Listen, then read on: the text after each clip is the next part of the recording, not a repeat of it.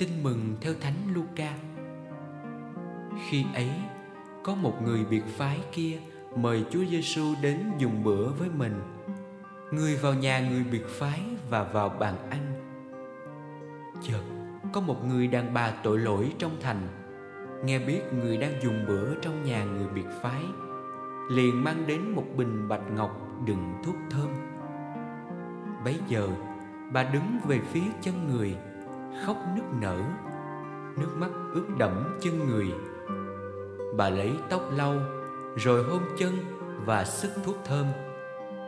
Thấy thế, người bảo người đàn bà tội con đã được tha rồi. Những người đồng bàn liền nghĩ trong lòng rằng, ông này là ai mà lại tha tội được? Và người nói với người đàn bà, đức tin con đã cứu con con hãy về bình an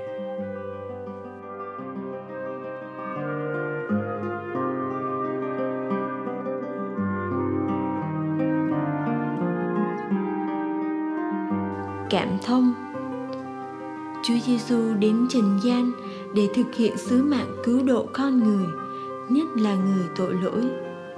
Tội lỗi của con người dù có nặng nề đến mấy đi nữa, nếu có lòng ăn năn sám thì vẫn được thứ tha.